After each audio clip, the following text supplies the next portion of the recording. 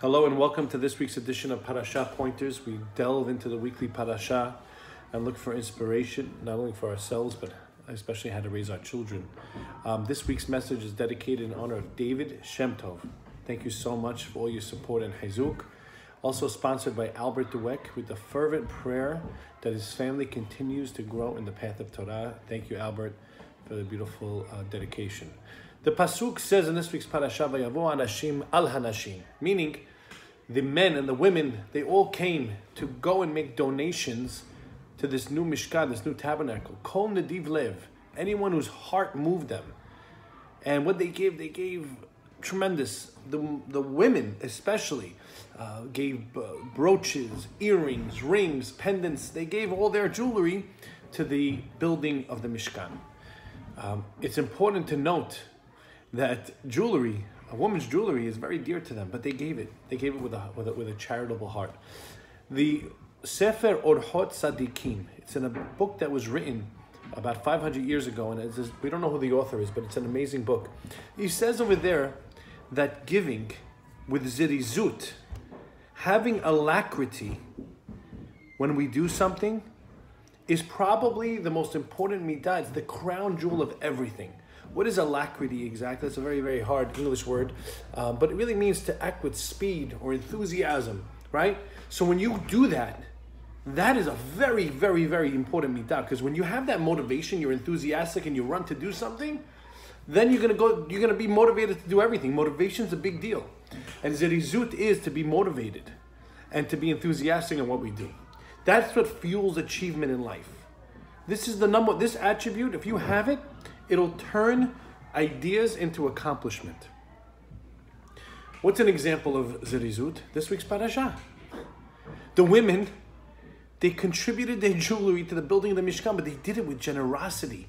They went and they did it with zerizut. They did not wait. They did not waste any time. And we know the Malbim explains. The Malbim is a rabbi. The name Malbim is Rabbi Meir Leibush ben Yechiel Meir Weiser. Malbim is actually the first letters of his Hebrew name. He lived in the 1800s. He was a great rabbi. And he says that when they gave generously to give to the Mishkan, it was coming as a kapara, an atonement for the Jewish people. Why? Why? He says a beautiful thing. The women were not willing to give their jewelry to the golden calf. But yet, at the flip side, when it came to do something good, when it came time to do something that was correct and get them closer to Hashem, they ran and they did it. They did it with enthusiasm. They said, Take our jewelry, we're going to do it. When it was charitable, when it was good, they did it. When it was sacrilegious, they didn't. They held back.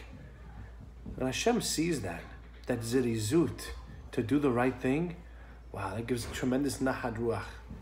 The question that we have to talk about is first of all, how do we get started? A lot of the times when we when we just we just can't get going, it's very hard to begin. There's something called inertia. It's like in the laws of physics, when something's not moving, it doesn't go, but when it starts, you can't stop it. For whatever reason, it just, just if you it's just hard to get started. And we look at our children, we want to see them be motivated. So we have to first understand that the ability to decide what we want to do is one of the greatest gifts that we have. We could have desires. We could decide what we want to desire. It's a gift from Hashem. Zirizut comes from that deep desire. They, these women had a deep desire to come close to Hashem. So they then acted the right way, but it all starts with the desire. It doesn't start with the act. So, how do we get our children to utilize this great gift of having the right desire to be motivated? Everyone's worried about their kids being motivated to do the right thing. Oh, he doesn't get up, doesn't want to go, doesn't want to do. How do I get him to want? How do I want get him to want to learn? How do I get him to want to to pray? How do I do it? I don't know. That's the question we're going to answer today. Motivation. How do we do it? So the first thing we're going to talk about is the bigger picture. When there's a bigger picture, you could now have steps towards that bigger picture. Let me explain. You have a boy, let's say, right? He said, "What do you want to be? I want to be a tzaddik. I want to be a chacham Ovadia Yosef." Really? Okay. So he's motivated. He has a he has a desire, right? But then you tell him, you know, every time you learn how to read, you're going to become like Chacham Ovadia Yosef. Every time you go to yeshiva, you're going to become like, you could become like that. Every time you do the right thing, every time you look at the right thing, you're going to become. Everything he does, all the smaller little goals now fit within a bigger picture. And that gives motivation to all these little things to happen. Because all these little goals now have much deeper meaning because they are getting him to a broader objective. That's one way that we create motivation. Now everything has a motivation. You wear tzitzit, you wear kippah, everything you do. You wake up the morning, you pray. You want to become Ovadia. I want to be great into. I want to be talmid chacham. Well, these are the steps you got to take to get there. And those little steps are not always so easy, but when you have that motivation for the bigger picture, then, and you explain it, then you're going to get that motivation. There's another very important lesson that we, we, we learned from the Mesilat Yesharim. Fake it until you make it. It's an amazing thing. The Mesilat Yesharim says that if a person acts in a way of enthusiasm with zirizut, he will start to feel a real excitement to do the mitzvot, even if when he started to act that way, he didn't feel it that way.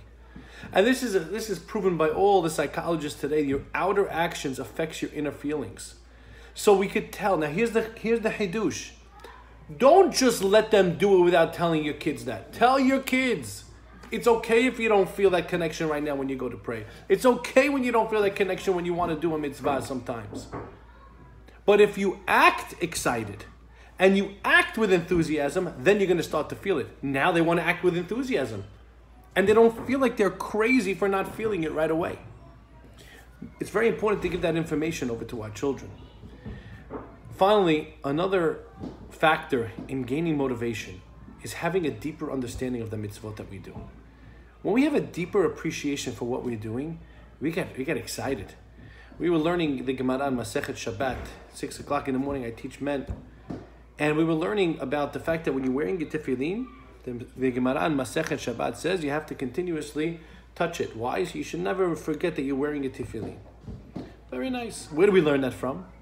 Says the Gemara, we learn it from the Kohen Gadol. He used to wear a tzitz. A tzitz was like this uh, this head plate made out of gold. It said Kodesh la Hashem, holy to God. Has Hashem's name on it, and it says over there in the pasuk twice that a, that a Kohen Gadol has to have it on his head. We know you have to have it on your head. The Pasuk's coming to tell us something beautiful. Not only have to physically have it on your head, but you have to have it on your mind. So says the Gemara, if the tzitz, the, the head plate of the Kohen Gadol, only has one name of God, and yet the Kohen Gadol has to be constantly thinking about it. The Tefillin, which is so much greater because it has, how many more times does it have Hashem's great name? Is it not all the more so? Stop. We were learning this. We said, holy cow, that means, in a certain respect, the tefillin that we wear every day is more holy than the tzitz of the Kohen Gadol he wore in the Bet HaMikdash? Wow. What do you think the motivation looked like after that when they went to put on their tefillin? Or when I put on my tefillin, I was like, this is crazy. That creates motivation. I'm like the Kohen Gadol. I'm big stuff. I'm a holy man. I'm wearing this tefillin. These are some of the ways we could create motivation. Once you got motivation, they're there. They're gonna want to do everything, like we saw said in the beginning from the Orchot Tzadikim. Once the motivation's there, everything else will come.